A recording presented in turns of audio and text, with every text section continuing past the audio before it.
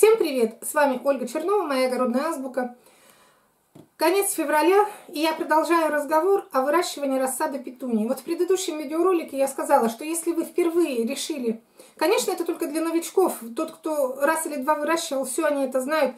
Но если вы решили впервые посеять петунию, вырастить петунию, и я сейчас больше говорю даже о простых семенах, не о тех дорогих гранулированных, а о тех, которые можно выращивать и из года в год собирать самим, что я и делаю всегда.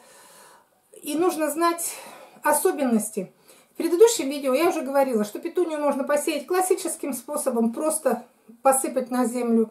Можно посеять на снег, для того, чтобы равномерность посадки, ну, более равномерно.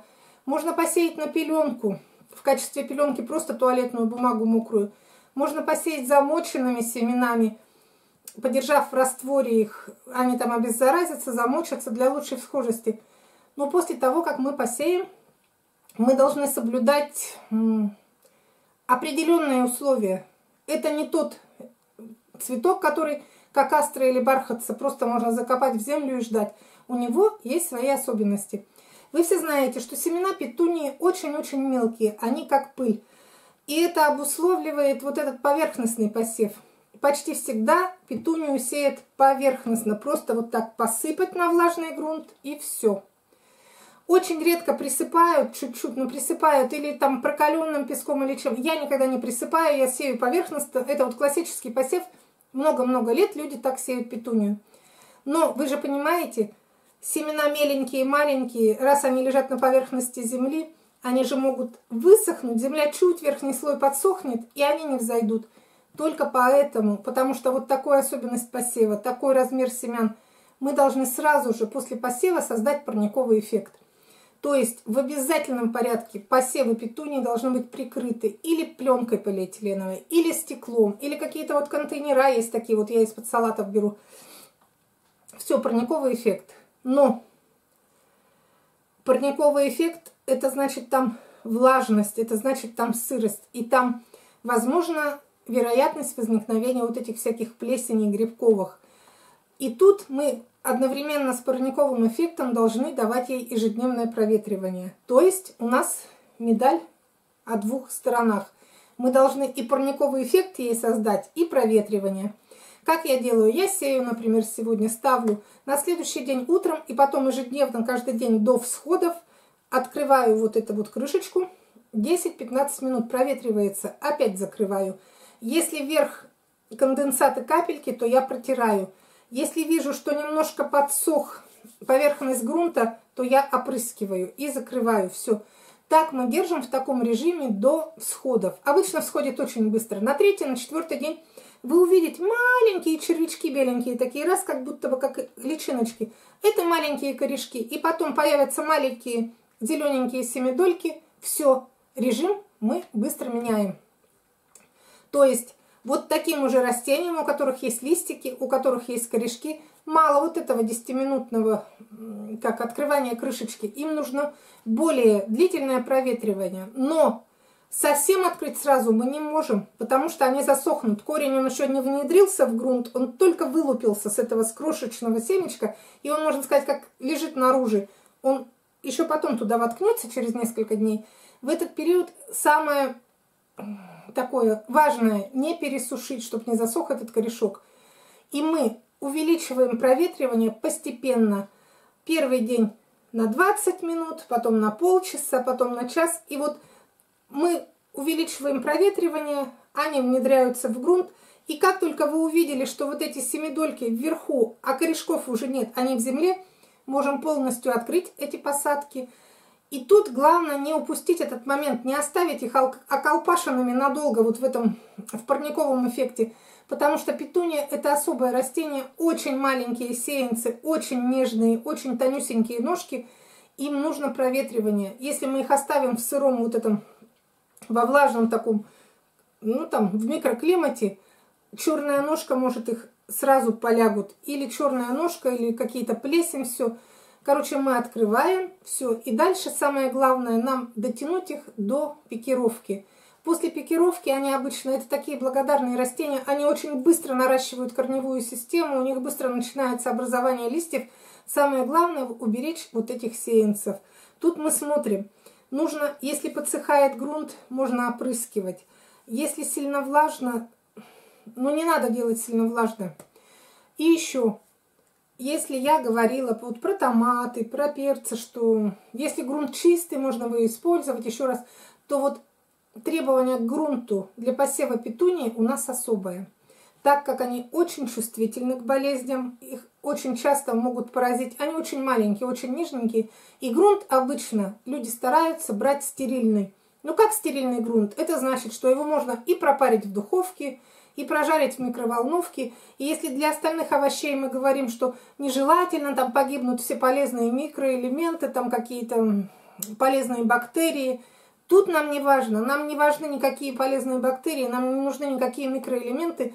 Нам важно, чтобы первый период, неделя, там 10 дней, в этом грунте ничего не завелось и ничего живого пусть там не будет. Нам не надо. Петунии хватит той влаги, которую вы будете давать, она же крошечная, не нужно ей никаких там удобрений, ничего. Лучше грунт простерилизовать или фунгицидом. Я вот в прошлом году привикуром поливала, до этого прожаривала в духовке или поливала крепкой марганцовкой, потом выдерживала какое-то время. Самое главное условие – это грунт стерильный и соблюдение всех условий. И еще петуния – такое особое растение, всходит которое обязательно на свету. Если томаты мы сеем, и первые дни у нас они стоят в темноте, потом, когда взойдут, мы их выставляем на свет, то петуния, как только вы рассыпете поверхностно, вы ее должны сразу поставить на свет. Она проклевывается на свету, и если вы, не дай бог, в темноте ее где-то поставите, и она проклюнется, она вытянется моментально. Она вытянется, вы не сможете, она упадет, или распекировать ее невозможно. Они сделаются как шелковые ниточки, очень нежные. Вот все, что мы должны знать. Во-первых, посеяли, поставили под свет. Во-вторых, грунт выбрать обязательно безопасный, вот по микро, микробиологии, чтобы не было там ничего, лучше прожарить или на водяной бане, или в духовке, или в микроволновке, или пролить фунгицидом. Так, грунт пролили, посеяли, поставили на свет, сразу делать парниковый эффект. Или закрыть пленкой, или закрыть стеклом. Но тут же сразу ежедневно проветривать убирать конденсат, может быть, тряпочкой, или вот так вот я вот бумажки вот так иногда делала, проветривать и следить. Как только появились вот эти сходы первые, зелененькие, там беленькие корешки, увеличивать проветривание. И как только они 2 семидоли, ну как видно уже, что растеница маленькая, 2 семидоли, укрывать, убирать крышку и делать проветривание. Очень склонна к вытягиванию, нужен свет обязательно. Очень склонна к различным заболеваниям, переувлажнять нельзя. И очень маленькая и нежная, пересушивать нельзя, может засохнуть, все. Но вот эта нежность, если вы неделю или 10 дней с заботой, с любовью отнесетесь, вот будете прям над ней трястись и делать все то, что она хочет, когда хочет увлажнить, когда хочет, наоборот, вот так проветрить, то после пикировки, я больше чем уверена, никаких хлопот она больше не принесет. Неприхотливое растение, очень красивое. Если выберете, например, дорогие сорта, ну это то же самое, что и в гранулах. Гранулах также положил, ее опрыскиваешь, увлажняешь. Если выберете дорогое в гранулах F1, которые не дают семян, можно начеренковать, храниться даже зимой. Я постараюсь найти прошлогодние видео, когда я увлекалась петунией, когда у меня был полный подвал зимой петунии, она у меня там и росла, и цвела, я весной черенковала, размножала. Очень благодарное растение и черенкуется, и размножается, и семенами, и черенками. Любой кусок петунии, любой там маленький вот такой вот пасынок воткнешь, через какое-то время образуется шикарный полноценный куст. Петуния такая же живучая, как томаты, но еще и очень красивая. Все. Это вот для новичков, чтобы они знали, что ожидать при посеве петунии, что нужно знать, на что нужно обратить внимание. Если вы учтете все ее предпочтения, то у вас обязательно вырастут шикарные цветы. Все. В конце к этому видео, как и к предыдущему, я вам ну, как хочу дополнить немножко, что три года назад я занималась выращиванием петунии очень плотно, очень-очень много сортов всяких. Все-все-все я это снимала на видео. И вот сейчас ссылки были у меня разные, всякие, такие красавицы, смотрите какие. И вот ссылки, которые будут в конце, в описании к этому видео. Кто хочет научиться выращивать петунию, посмотрите вот эти ссылки, вы все поймете. Тут и когда пикировать, и как сеять, и какой вид посева. Все-все. Вот тут Гацания аквилегия промелькивает.